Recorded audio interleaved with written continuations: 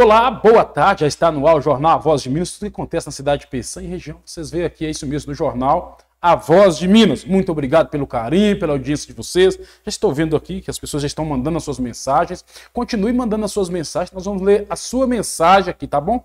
Pode mandar sua mensagem aí, convida o seu vizinho, fala que o jornal A Voz de Minas já está no ar.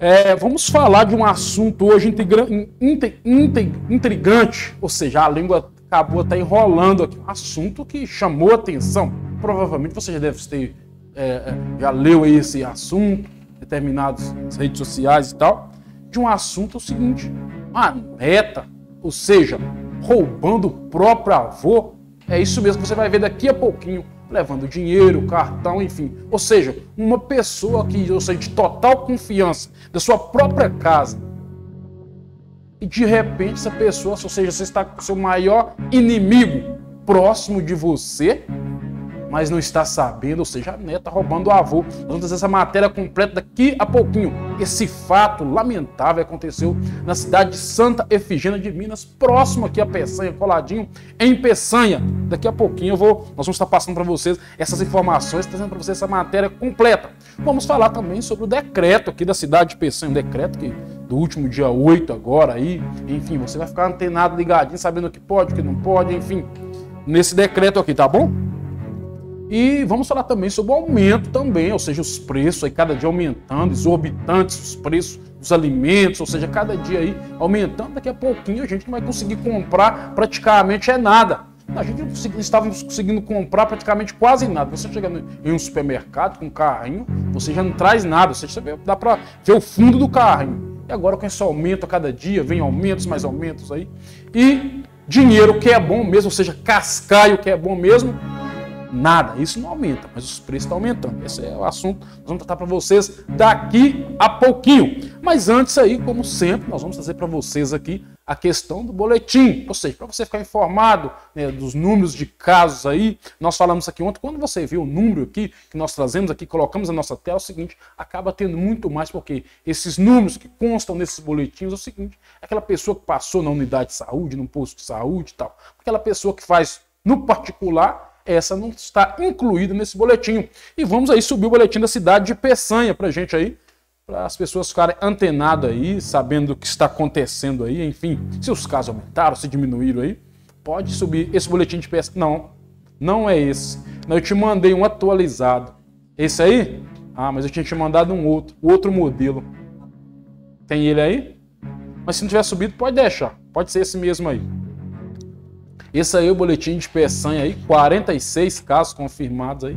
Esse número aí tá, tá oscilando aí de 43, 45, 46, enfim, ou seja, não aumenta, não diminui, tá, tá, tá nessa briga aí entre, ou seja, na cadeira dos três. 43, 44, e, enfim, agora está em 46. A questão dos números aí. Lembrando, eu estou firmando aqui novamente, quando você vê esses números aí, a pessoa deve imaginar seguinte: ah, não, está tranquilo, são poucos casos em relação às cidades vizinhas. Sim, de fato, você comparar aí o boletim é, da cidade de Peçanha com as demais cidades da região, é, prova aí que realmente o número está lá embaixo. Até mesmo você pegar o boletim de Peçanha, comparado com José Raidan, que é uma cidade bem pequena, cidade né, bem pequenininha mesmo, com pouquíssimas pessoas, você vê que os números deles estão lá em cima. Mas quando você vê esse número aí, 46, com certeza deve ter mais casos. A questão é a seguinte, isso é que as pessoas passaram pelo posto de saúde tal, unidade de saúde, mas aqueles que fizeram aí particular não estão incluídos. Então a gente tem que ficar muito atento, vamos ficar atento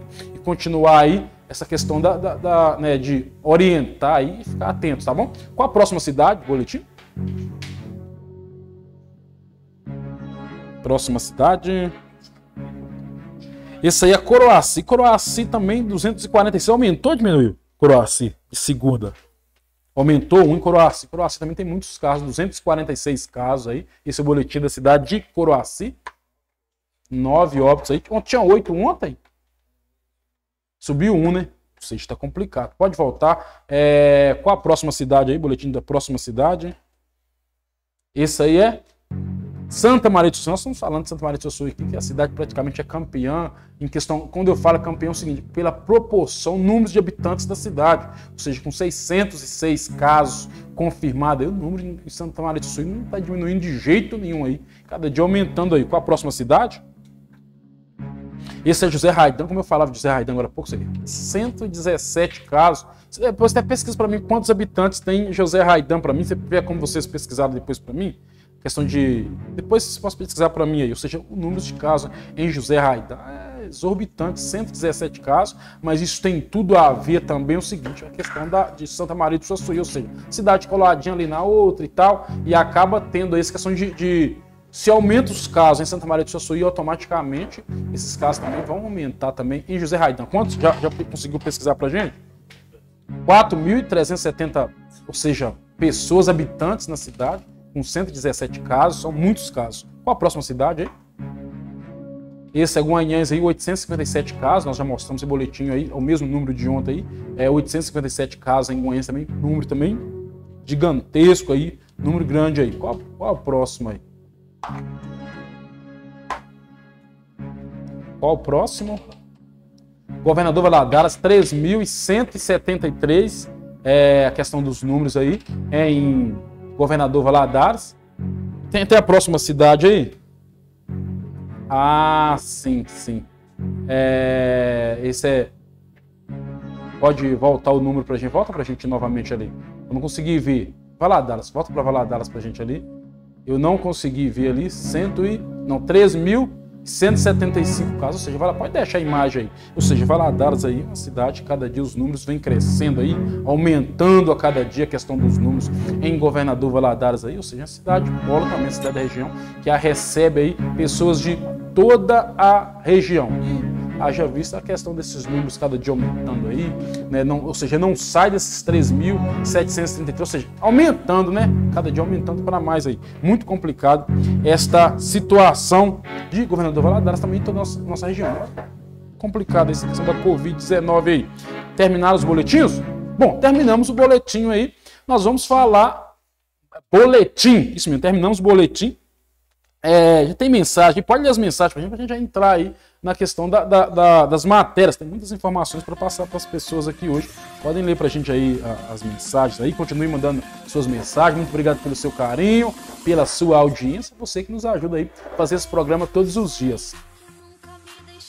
Ah, olá, boa tarde, boa tarde a você que está ligadinho aqui conosco em mais um programa Jornal A Voz de Minas.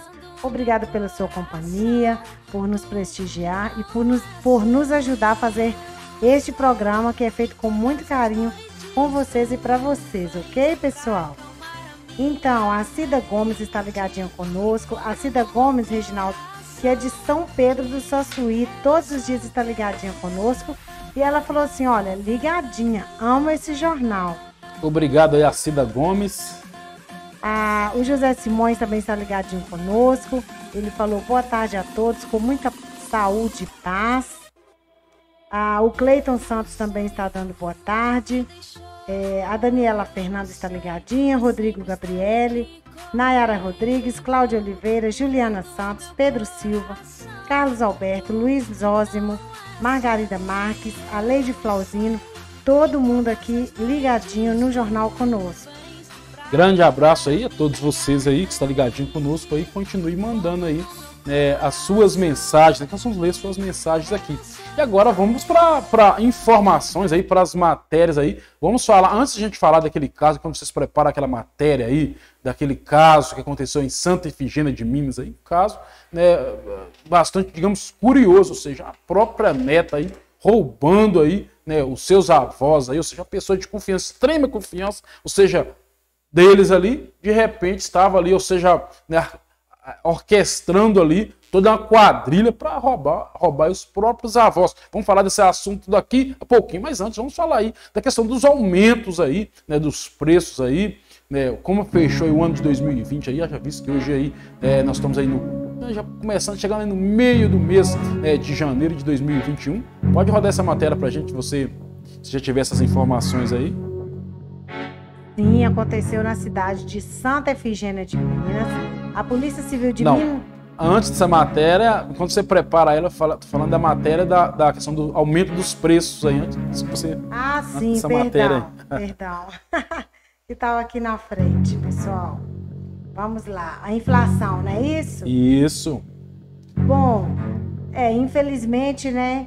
a inflação oficial fechou o ano de 2020 em 4,52% maior do que o ano. É, e esta, é, esta alta é maior desde 2016. Ela foi maior que 2019 e é, a, e é a maior alta desde o ano de 2016. Os preços dos alimentos acumularam aumento de 14,9% no ano. Pressionado pelos preços dos alimentos, o Índice Nacional de Preços ao Consumidor Amplo, considerado a inflação oficial do Brasil, fechou 2020 em 4,52%, acima do centro da meta para o ano, que era de 4%. Os analistas de mercado financeiro estimavam uma inflação de 4,37% em 2020, segundo a última pesquisa Focus do Banco Central. E trata-se da maior inflação anual desde 2016, quando o índice ficou em 6,29 segundo divulgou o IBGE, Instituto Brasileiro de Geografia e Estatística.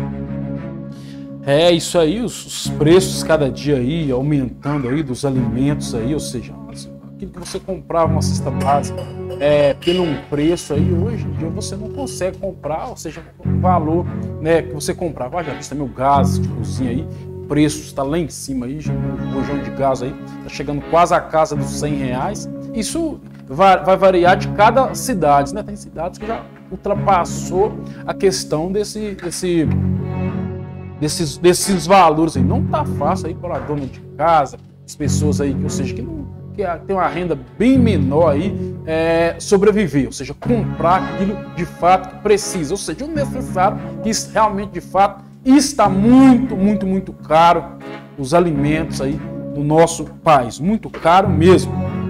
Tem mais informações aí, já? É, a meta a meta de inflação e perspectiva para 2021. Pode voltar a imagem lá. Isso. Apesar de ter ficado acima do centro da meta, a inflação oficial ficou dentro do limite pelo quinto ano seguido. E pela meta oficial estabelecida pelo Conselho Monetário, o IPCA ficaria, é, poderia ficar entre 2,5% e 5,5%. E para 2021, o mercado financeiro subiu 3,32%, é, de 3,32% para 3,34%, e essa é a previsão de inflação. Neste ano, a meta central de inflação é de 3,75% e será oficialmente cumprida se o índice oscilar de 2,25% a 5,25%. Então está aí, né, é, todos apreensivos, né, e preocupados, porque a inflação, a tendência é subir. Mas vamos aguardar, né, os próximos capítulos, né? É isso aí, complicado, como eu falei agora, mas vamos falar, puxa aquela matéria pra gente aí sobre a questão do pagamento aí, ou seja, dos documentos e tal, já já tá no jeito, já tem já tem previsão já para para pagamento aí. IPVA já tem previsão para pagamento aí. Vamos falar de conta, né? Sim, o IPVA 2021 já começa a vencer esse mês de janeiro a partir do dia 18. E a escala vai até 24 de março. E tem sempre né, essa questão aí, a novidade, é o contribuinte que quitar imposto à vista, ele tem desconto de 3%.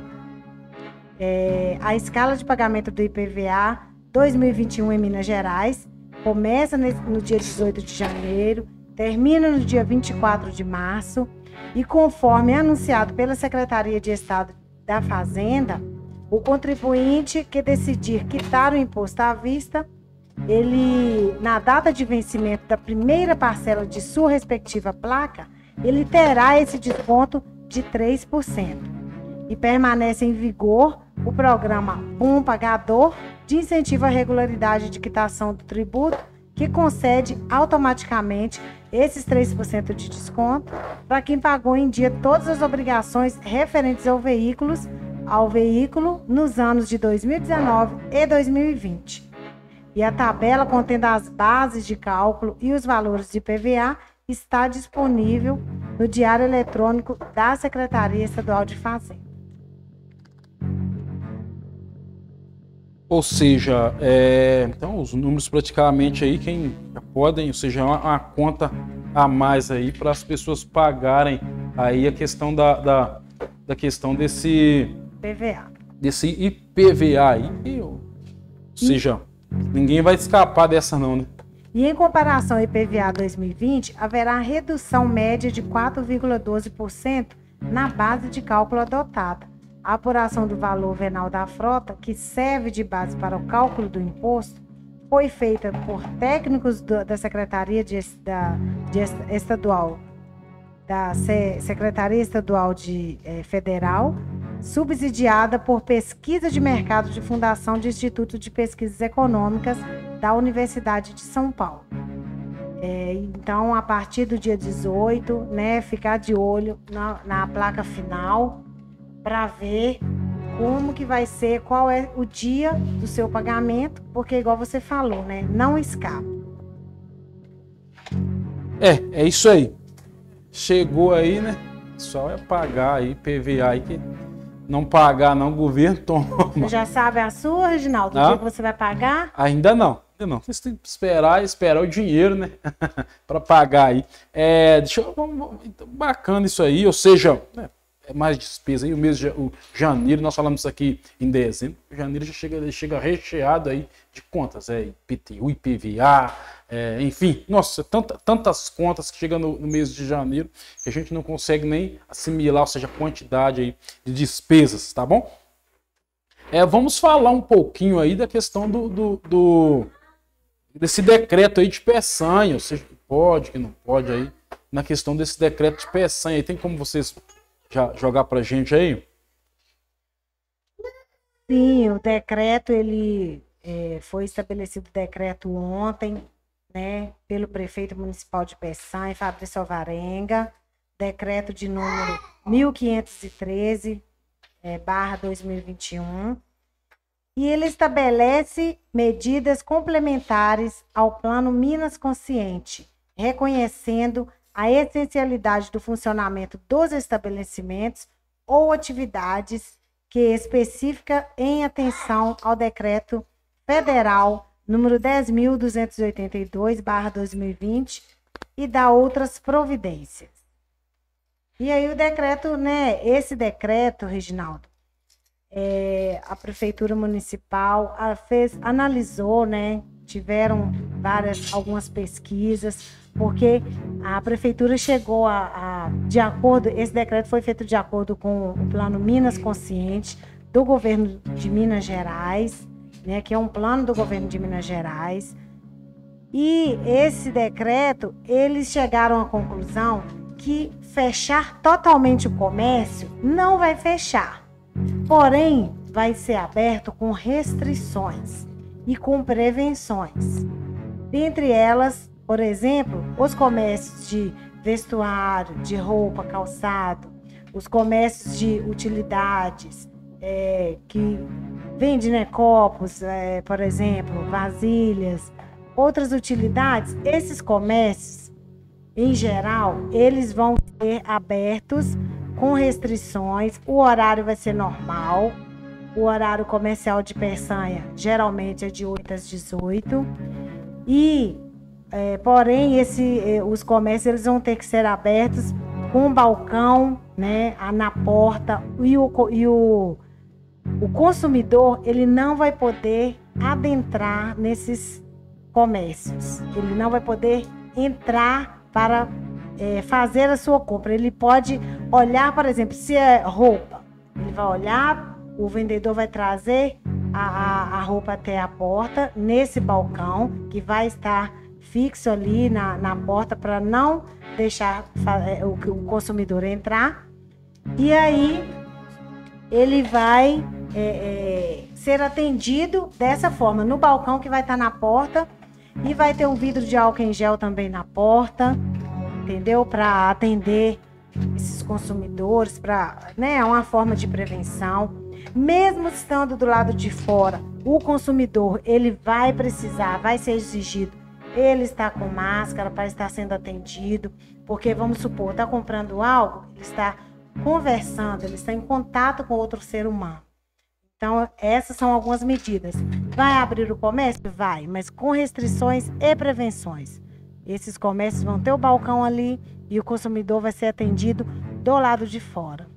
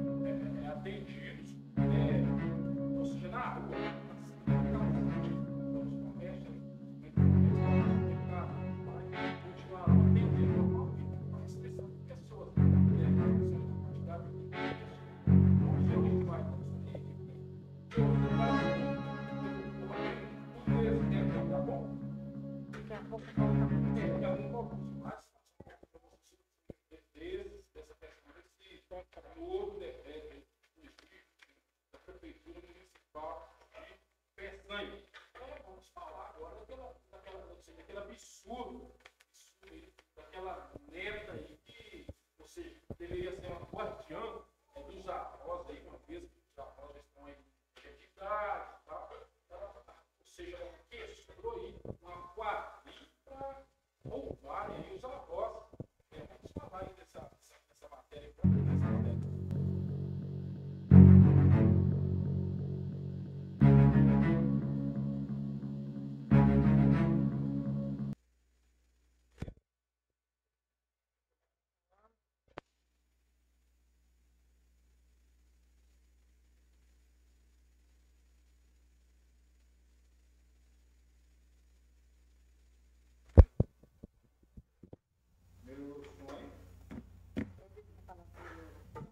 o som está 100% aí? Para aumentar o som. Hã? O microfone aqui deu um problema? Seja pilha. Vamos trocar aqui só um instante aí. Microfone aí. O microfone deu problema aqui.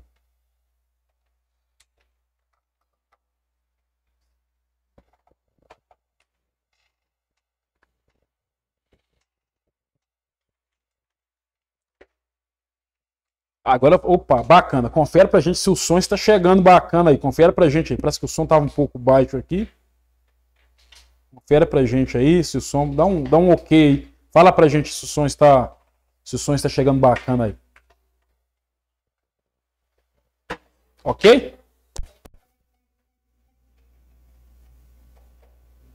Prontinho? Então vamos lá na, na questão aí daquela neta aí que ou seja, que roubou aí os avós aí, ou seja, que deveria ser guardiã dos avós, é, acabou arrumando uma quadrilha para roubar aí. Esse fato aconteceu em Santa Efigênia de Minas. Pode rodar a matéria para a gente aí. Sim, esse fato aconteceu em Santa Efigênia de Minas. A Polícia Civil de Minas Gerais realizou em Governador Valadares a operação Até Tu Brutos, na manhã desta segunda-feira, 11. A operação de busca e apreensão é culminância de investigações de roubo ocorrido no mês de outubro de 2020 no município de Santa Efigênia de Minas, contra um casal de idosos. Um casal foi preso e, de acordo com a Polícia Civil, uma neta das vítimas e o companheiro dela são as principais suspeitas de organizar o crime contra os idosos. E o Polícia Civil falou assim: olha, sempre nos chamou a atenção é, que os autores presos foram auxiliados por alguém que tinha conhecimento de que as vítimas possuíam dinheiro em casa. A neta de 29 anos e seu companheiro de 35 foram efetivamente os autores intelectuais por planejarem e a empreitada criminosa, afirmou o delegado Maurício Lauro, responsável pelas investigações. É, e o nome dessa operação, até tu, Brutus, ela se remete à célebre frase dita pelo imperador romano Júlio César, ao ver que um dos seus algozes, no momento da morte dele, era o filho adotivo Marcos Brutus. Assim, o nome da operação está ligado ao fato de os alvos da ação de hoje serem a neta da vítima e o companheiro dela, apontados como suspeitos de planejar o roubo no município de Santa Efigênia de Minas. Ou seja, é, volta aquela imagem pra gente ali, muito bonita essa imagem, volta aquela imagem pra gente dar, aquela imagem lá, dinheiro, vira, tem dinheiro, tem, é isso mesmo. Muita, muita grana ali, ou seja, tem também cartão de crédito também. Pode, pode continuar, pode continuar. Sim, a primeira fase da operação foi realizada em 7 de dezembro de 2020, com a prisão de pessoas, uma de 28 e outra de 31 anos, suspeitas de executar o crime na residência do casal de idosos. Presta atenção à idade deles, Reginaldo. Um de 75 e outro de 90 anos. Foi muita covardia, né? Com os, traba com os trabalhos realizados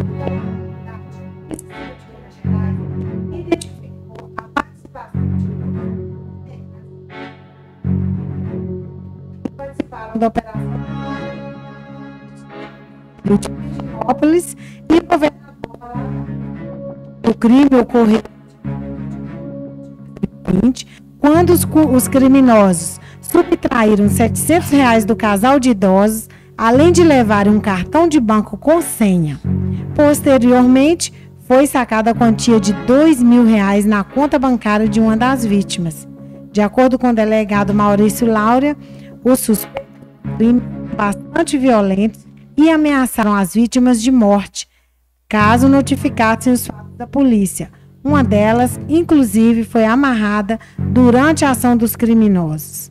Mais uma vez, os criminosos, eles pensaram que se deram bem, mas a Polícia Civil, graças a Deus, está aí, atuante. A Polícia Civil de Virginópolis juntamente com a Polícia Civil de Governador Valadares. Parabéns aos policiais, aos militares e à Polícia Civil de Virginópolis e Governador Valadares por mais essa ação.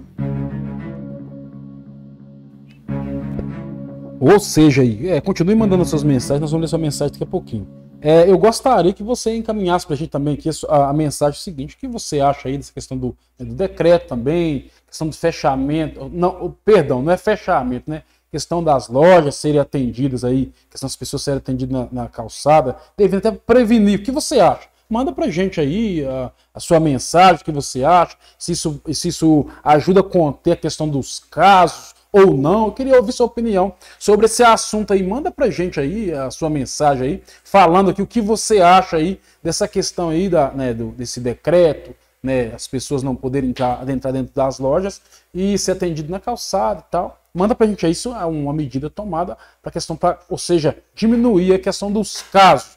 E também haja visto também que a, questão dos bancos continuarão atendendo. Essa, esses bancos, haja visto, não tem uma regra para a questão de, dos bancos. Até seria interessante aí, não sei se foi tomada essa medida, você passa ali é, perto do Banco do Brasil, por ali, ali está recheado de pessoas, tem pessoas, né, as ruas estão abarrotadas por ali. E também é o que eu falo, nada adianta tomar todas essas medidas, é, ou seja, o comércio aí seguir a risca aí e também as, as, grandes instituições aí não serem cobradas pelo poder público, ou seja, cobrado pelo poder público é mais efetivo, mais efetivo para os bancos aí. Você chega no banco, o que acontece aqui em PSA é o seguinte: as pessoas elas vêm de manhã, principalmente da área rural, não tem ninguém para orientá-las no banco. Ou seja, para ajudar ali as pessoas que não sabem mexer nos caixas eletrônicos, para tirar o seu dinheiro, as pessoas irem embora para casa. E as pessoas começam ali, chega de manhãzinha aí, fica o dia todo ali lotado, cheio de gente, a rua ali fica parecendo festa. Eu não estou mentindo. Podem passar no banco, eu passei lá ontem, eu vi. É, podem passar para vocês verem lá. Então nada adianta aí, né, o comércio aí, as pessoas, o, os comerciantes aí, né, fazer, to, fazer todo esse, essa, esse aparato de medida aí, lógico, o comércio quando ah, sai o decreto, mesmo sem decreto, os comércios aí está catando aí, é, fazendo o seu papel, prestando o seu papel aí. É, inclusive o comércio ele ajuda muito a orientar, o comércio ajuda muito a orientar no uso de máscara e tal. Comércio sempre fez isso aí. Mas nada adianta todo esse aparato aí se, os, se não tomar também, se não pegar pesado a questão dos bancos. Porque quando você passa ali próximo do Banco do Brasil ali, parece carnaval fora de época. Então, a, o poder público tem que tomar medidas aí, cobrar do banco aí mais funcionários para agilizar e atender as pessoas as pessoas ir embora para suas casas rápido. Porque senão as pessoas ali ficam, não, ou seja, o comércio ali é, faz o seu papel e o, o banco ali não faz. Entendeu? E aí fica ali aquela uma fila enorme ali. É muito complicado. Eu queria ouvir, ouvir a sua opinião sobre esse assunto, tá bom? Mande a sua opinião, é, nos ajude a fazer esse jornal aqui. Mas voltando aí para esse caso aí dessa neta aí de Santa Efigênia aí, neta do mal, não é isso mesmo? A pessoa ali, ou seja, seus avós com certeza têm um grande carinho ali por ela, ou seja, tinha ou tem, continua tendo um carinho por ela. E ela simplesmente, é, ou seja, arruma entre o seu compasso, seu parceiro aí, para roubarem aí o, o seu o dinheiro que já, que não é nada, os idosos aí, ou seja, ganha muito pouco aí, que ganha é para comprar remédio. E aí, neta vai lá com o seu comparsa, é, ou seja, faz toda uma orquestra ali para roubarem ali o dinheiro, roubou o dinheiro, roubou o cartão. Muito triste a situação aí. Nós estamos vivendo um momento tão difícil aí da sociedade aí. Parece que ninguém tem mais amor a ninguém aí. Você olha, olha, vê, você costuma ver aí, né, filhos aí roubando o pai, agora você vê a neta roubando os próprios avós aí. Você é muito triste a situação aí, muito triste mesmo essa situação. É uma matéria até difícil de falar. Parece né, engraçado, mas ao mesmo tempo é triste, que a família, já imaginou? Você não poder confiar dentro da sua própria família? Você já anda nas ruas, você não consegue andar em liberdade. Os idosos não conseguem andar em liberdade nas ruas porque são assaltados, são roubados aí né, pelos marginais. E, e também, quando chegam os marginais, roubam, né, batem nos idosos aí. E agora tem que também se prevenir por questão de netos aí, roubando também aí né, os seus avós. Muito triste essa situação. Triste mesmo, lamentável a situação aí da cidade de Santa Efigênia de Minas aí, tá bom? Tem mais mensagem? Pode ler as mensagens pra gente aí?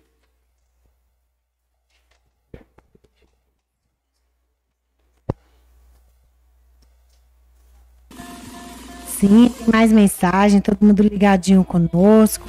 Muito obrigada pela sua companhia. É, estão ligadinhos aqui conosco agora é, nesse momento. A Lorena Braga, Tamires Amorim, a Ana Simões, Alessandro Alves. A Ana Simões falou assim: Olha, boa tarde, meus queridos. Muito preocupada e sofrendo de longe por causa dessa pandemia. Sentindo muito 2021 melhor. Isso aí é um grande. Edith, é, Edith, Edith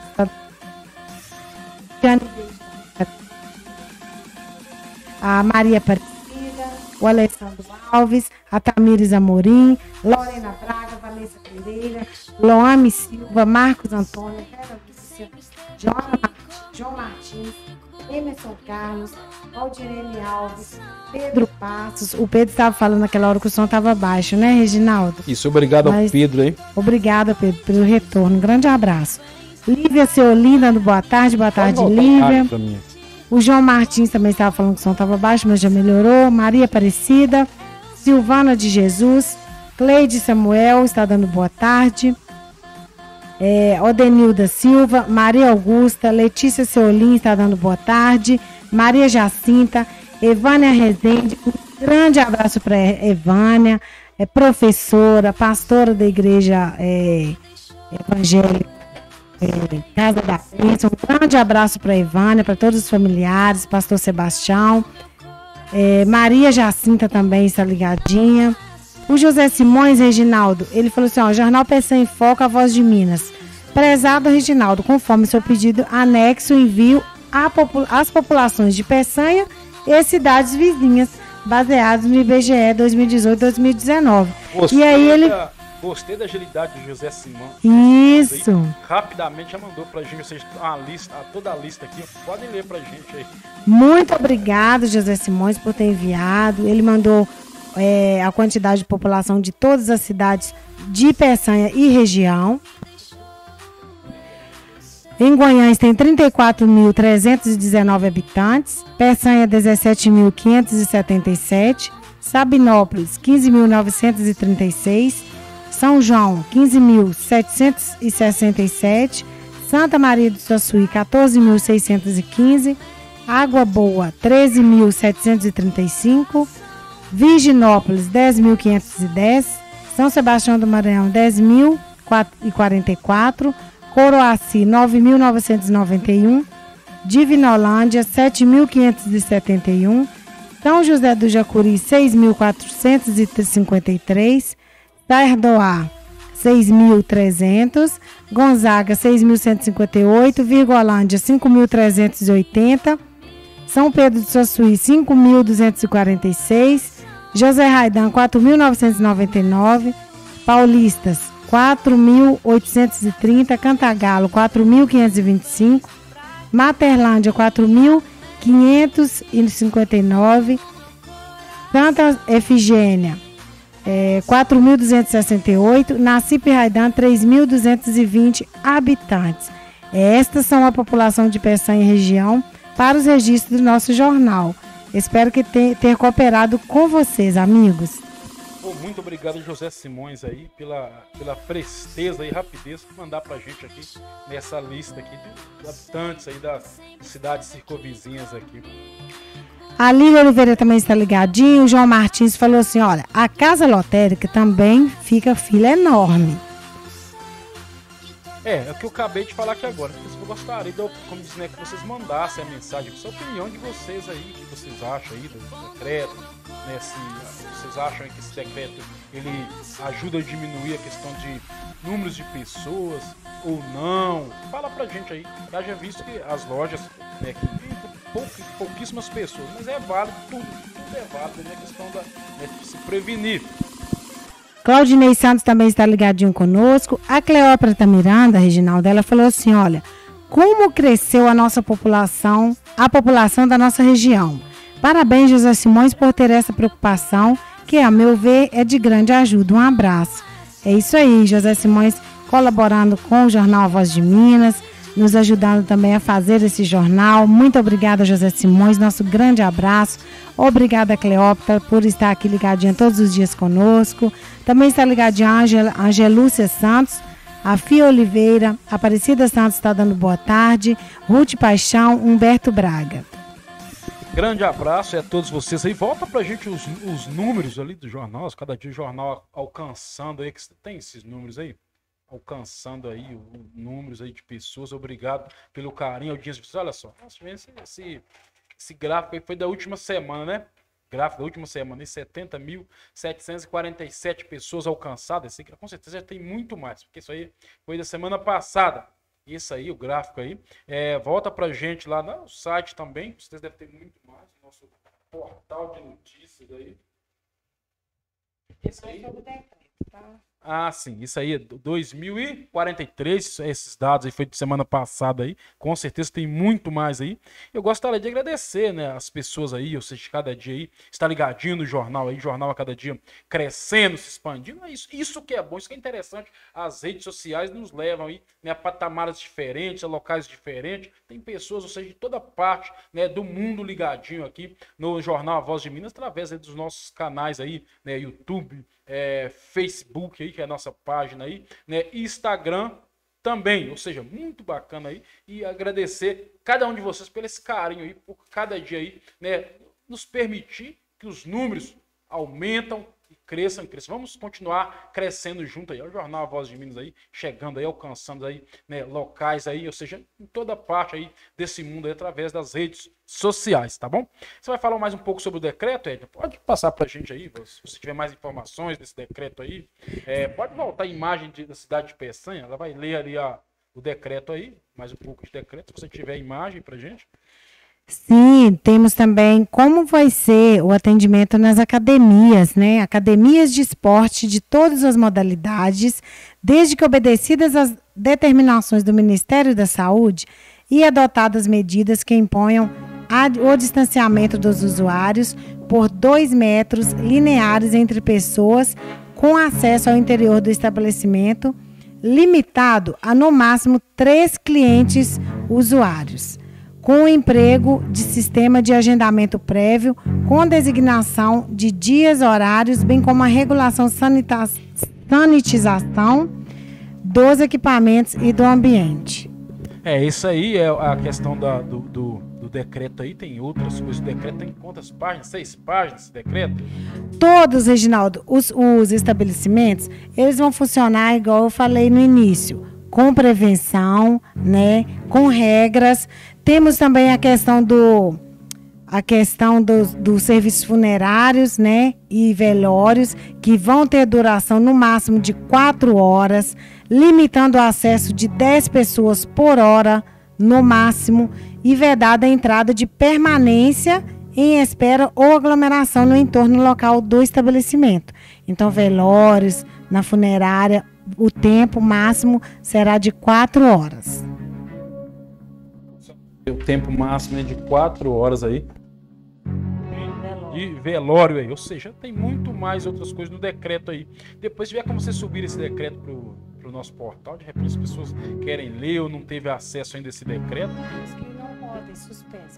Estão suspensos? Podem ler para a gente, então. Pode ler. E aqui, a, a, última questão aqui, olha, ficam suspensos por 30 dias a autorização para manutenção, realização, locação e funcionamento de atividades ou empreendimentos públicos ou privados com circulação ou potencial de aglomeração de pessoas, que no caso são eventos públicos e privados de quaisquer naturezas, atividades de praças públicas, feiras, feiras livres, comércio ambulante, museus, parques e clubes de lazer, clubes, boates, salões de festas, teatros e casas de espetáculo. Infelizmente, isso aí não vai poder funcionar, pelo menos segundo esse decreto aqui, durante os próximos 30 dias. Ou seja, não estava funcionando, praticamente já não estava funcionando, né? A questão de. É, ou seja, só tá mantendo ali, da, continuidade, porque não estava sendo permitido, tá bom? Tem mais mensagem? Pode ler mensagem pra gente. Nós vamos falar de um assunto agora, de repente também, como eu falei, você já viu, tem esse, esse vídeo aí é, a questão é seguinte: um raio caiu, um vereador é, estava fazendo. Isso aconteceu na cidade de Minas Gerais. O vereador estava lá mostrando na propriedade e de repente o que aconteceu? Veio um raio aí, né? Daqui a pouquinho nós vamos falar dessa matéria para vocês aí, tá bom? Pode puxar, pode puxar pra gente aí aquela imagem da, da, da do. Aquela imagem lá do raio, deixa pra gente a imagem do, do raio pra gente, que ela vai ler essa matéria pra gente aí. Encontrou? Tem áudio? Lá. Pode Ó, deixar pra gente. Céu limpinho. Ali já começa. Céu limpo, tá de sol. Agora olha pra você ver. Olha lá, ó. Céu limpinho. Ali já começa. Céu limpo, tá de sol. Agora olha pra você ver como é que tá o mindurim. Ah, mindurim, velho. Olha. Jacaré. Olha lá, ó. Céu limpinho. Ali já começa. Céu limpo, tá de sol. Agora olha pra você ver como é que tá o mindurim. Ah, mindurim, velho. Olha. Jacaré. Olha lá, ó. Céu limpinho. Ali já começa. Céu limpo, tá de sol. Agora olha pra você ver como é que tá o mindurim. Ah, mindurim, velho. Olha. Jacaré. Olha lá, ó. Céu limpinho. Ali já começa. Céu limpo, tá de sol. Agora olha pra você ver como é que tá o mindurim. Ah, mindurim, velho, olha. Jacaré. Olha lá, ó. Céu limpinho. Ali já começa. Céu limpo, tá de sol. Agora olha pra você ver como é que tá o mindurim. Ah, mindurim, velho, olha.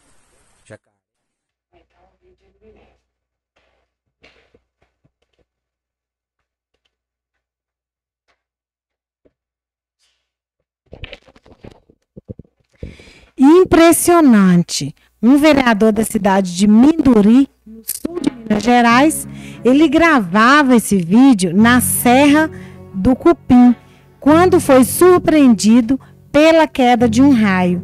O caso ocorreu né, no último domingo, mas o vídeo mostrando o raio que quase atinge o vereador, esse vídeo viralizou nas redes sociais e, apesar do susto, ele passa bem. Graças a Deus, né, Reginaldo? Foi apenas um susto, um grande susto, né? Ou como, como, ou seja, imagina ali, ou seja, deu para ver a questão daquele raio ali. Meu Deus do céu. Tem mais mensagem? Estamos chegando no finalzinho do programa aí. É, tem mais mensagens? Podem ler pra gente se tiver mensagens aí. Estamos chegando ao finalzinho do nosso programa aí.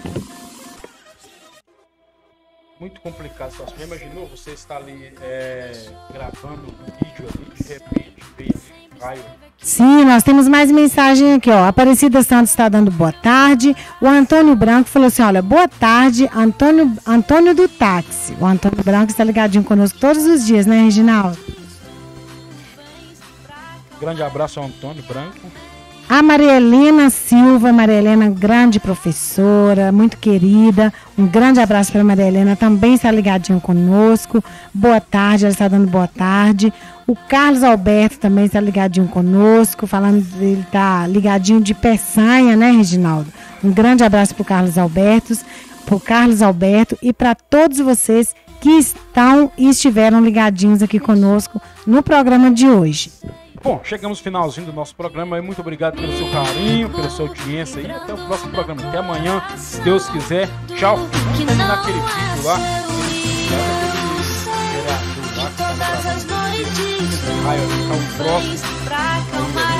Obrigado, até amanhã, se Deus quiser. Tchau, fui.